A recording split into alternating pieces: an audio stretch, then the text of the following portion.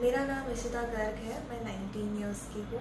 मुझे काफ़ी सालों से बहुत ज़्यादा माइग्रेन का दर्द था, जो पूरे सर में होता था। बहुत सारे डॉक्टर्स को दिखाया, बहुत कुछ ट्राई भी किया बट आराम नहीं मिल रहा था। डॉक्टर अमित शाह को मैं लास्ट थ्री फोर मंथ से दिखा रही हूँ एंड मुझे बहुत ज़्यादा चेंजेस दिख रहे हैं। Thank you so much